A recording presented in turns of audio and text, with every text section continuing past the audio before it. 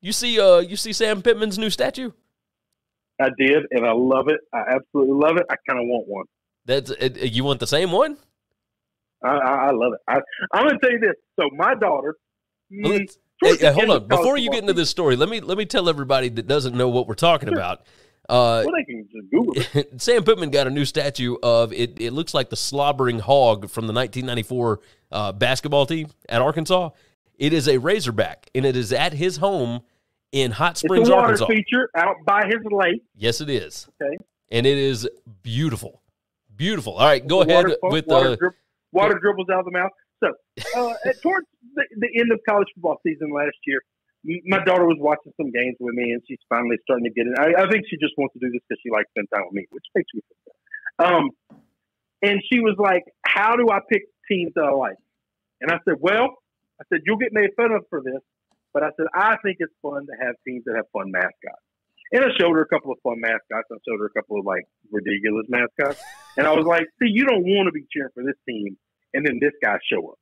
and you're like, uh, yeah, I'm with him, but I really am not proud of that. And so I talked to her about how important I think it is for live mascots. Now I know the PETA people of the world are going to hate my guts right now. That's okay.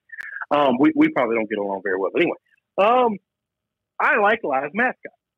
Showed her pictures of Mike and his beautiful cage and, and, and situation in, in Baton Rouge. Uh, I, I, I'm not a Texas fan, but I, I love Bevo. My favorite mascot in the country is Ralphie. I love that big ass buffalo, and uh, and, and and so I, I we talked about that, and she really liked Tusk. Now Tusk, the live version of Tusk is ugly as sin, and I think that's why she liked him. It's one of those situations where you love the ugly dog from the pound. He he's he's ugly as hell, but she liked Tusk a lot, and and I guess her liking him, I I, I like him. You know, I think he's, he's yeah. a fun mascot. Nobody else has a Razorback. Nobody else has a big ass hog. So, anyway. So she likes the hogs. She, come on now. Come on now. That's oh, I wouldn't I wouldn't make it that joke. I wouldn't make. We're in a big ass studio. Somebody make a drop out of that. then we had to fight. That's amazing. That's amazing. All right. No, I'm just thinking of the fact that you're an LSU fan, and if she's going to be an Arkansas fan, that could get a uh, that could get dicey. no, it wouldn't be dicey. It wouldn't be dicey. Listen, there's only like four places in the world where she'd be thrown out of the family if she goes to. And they both know that, by the way. Both oh, yeah. my kids fully understand. I'll, I'll give you a story about hatred in my family. Okay. This is how mature I am. All right. We are in Disney World. We're going through the Laugh Factory, which is a uh, a little little place in Magic Kingdom where they do the the Monsters Inc. jokes. Yeah. Okay. And and somebody there in the audience said they're from Alabama. And some white trash lady on the other side of the room is like, "What is roll tide?"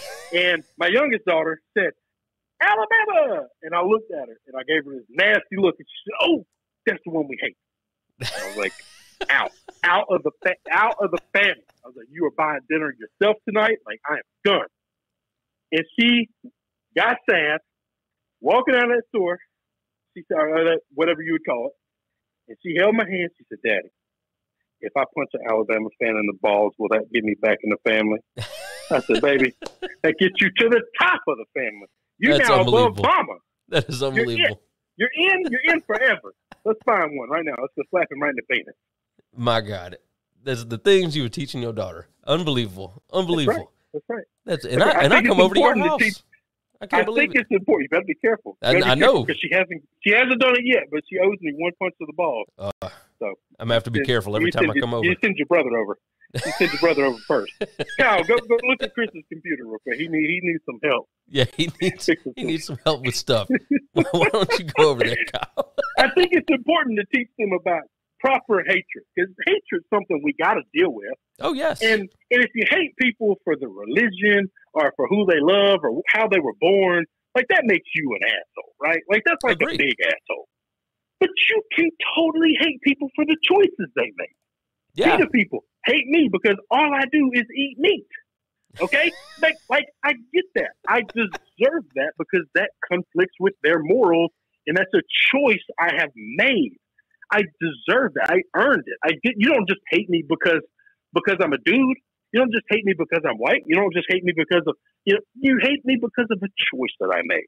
And I think it's important teach kids it's okay to hate somebody for the choice. My, my question on this was which statue would you build in your backyard? But I think we got enough. I think Tusk is cooler than Mike.